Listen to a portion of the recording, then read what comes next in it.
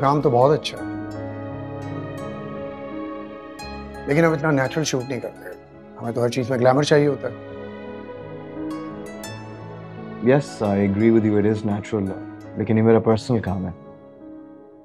And as far as professional level का work is concern तो according to the brief हम इसमें glamour add कर लेंगे।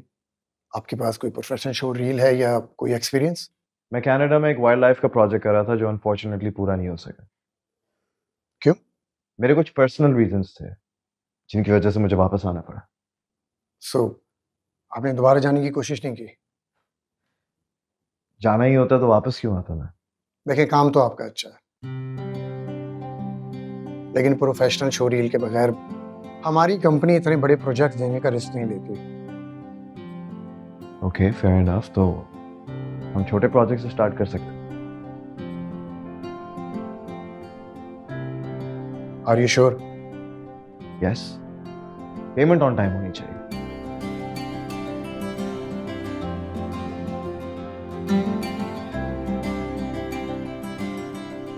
ठीक है। एक प्राइवेट फ़ंक्शन कवर करेंगे? यस एब्सोल्युटली व्हाई नॉट बस पैसे मिलने चाहिए। मैं डिटेल भेजता हूँ। फ़ंक्शन आज रात को ही है। Okay, fantastic. Sounds great. I'll be there. Thank you. Sure nice to meet you अच्छा if you don't mind मैं अपनी यूएसबी ले लूँ? Sure Thank you so much. Take care. अल्लाह हाफिज़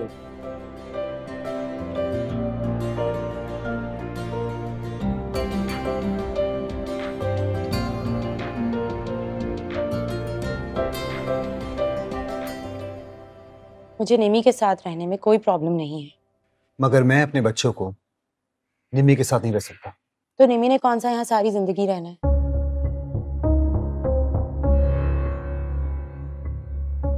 शादी हो के रुखसत हो जाना है। फिर किससे पता कि महीने में आती है या सालों में? भाड़ में जाए उसकी शादी। मैंने कहा ना मैं इस घर में रहना नहीं चाहता।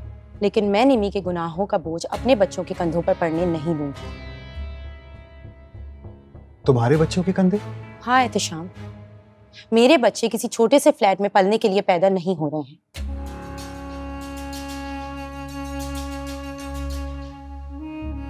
गुनाह आपकी बहन ने किया है तो उसकी शादी करके उसको इस घर से रुखसत करें और उसका इस घर में दाखला बंद करें।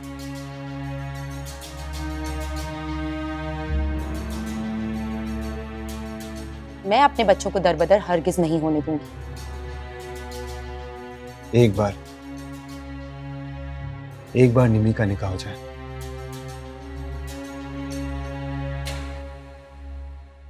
मैं उसको इस घर में कदम रखने नहीं दूँगा।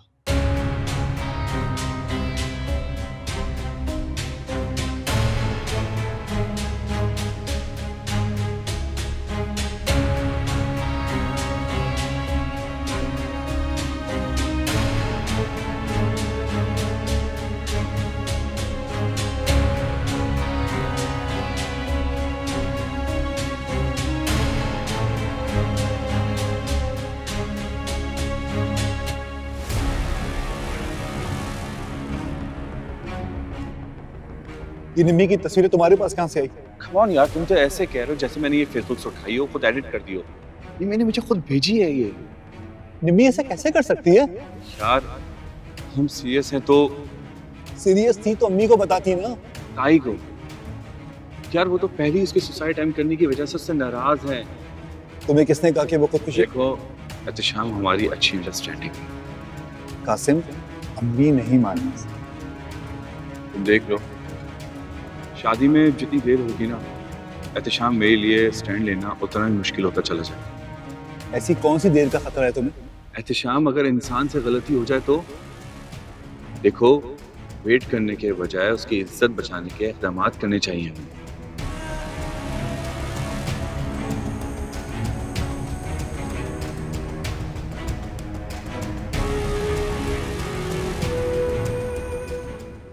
नहीं, मुझे तो कुछ समझ में नहीं आया सर ने क्या लेक्चर दिया है क्या पढ़ा रहे थे कुछ भी समझ में नहीं आ रहा लेकिन मुझे तो सब समझ आ रहा था इसमें मुश्किल क्या था?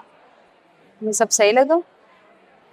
हाय एक्सक्यूज मी अगर आप बुरा ना माने तो क्या मैं यहाँ पर बैठ सकता हूँ? I not thank you so much really appreciate very kind of you take care हाँ जी। जल्दी आ जा आ जाओ। हाँ यार जल्दी आ गया। कैसी रही तुम्हारी क्लासेस हाँ ठीक। ठीक ओके यार वैसे एक बात बताओ ये इकोनॉमिक्स तुम्हें समझ में आ जाती है प्रॉपरली नहीं आती है। ट्यूशन लगवा दो तुम्हारे लिए। मतलब मैं इसलिए कह रहा हूँ कि कहीं तुम फेल वेल ना हो जाए ना तो सेफ़ साइड मैं क्यों फेल होंगी? अभी तो तुमने कहा है कि तुम्हें इकोनॉमिक्स समझ नहीं आती सही से। अच्छा अगर ऐसा है फिर तो आपको समझने के लिए भी एक ट्यूशन लगवा दें। मुझे समझने के लिए? आप भी मेरी समझ में नहीं आता ना। तुम कोशिश भी तो नहीं करती ना। एनीवेज खैर forget everything I am serious अगर तुम्हें मुश्किल है ना तो हम ट्यूशंस लगवा दें ठीक है लेकिन जब आपकी जॉब हो जाएगी उसके बाद लगवा लें अभी तो तुम्हें पैसे दिए हैं उसी से लगवा लो। और जब ये पैसे खत्म हो जाएँगे उसके बाद क्या होगा? तो और आ जाएँगे। और वो और कहाँ से आएँगे? कहीं से भी आ सकते हैं यार। कहीं से भी? मतलब? मतलब तुम्हारे लिए ही कहीं से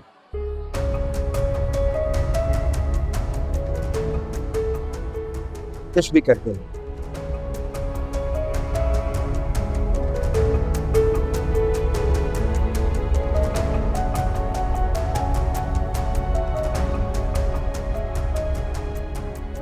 एनीवेज यार, मुझे बहुत भूख लग रही है। चलें कुछ खाएँ मैं सोच रहा हूँ अपने भाई से कुछ खाते हैं। लेट्स गो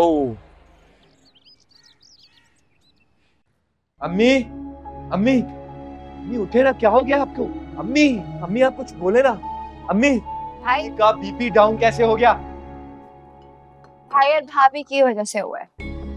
भाभी का है? पता नहीं सुबह से अपने कमरे में घुसी हुई है और अगर मैं ना आती तो पता नहीं अम्मी कब तक बेहोश रहती। अगर कोई टेंशन थी तो मुझसे बात करती। आपको बताती।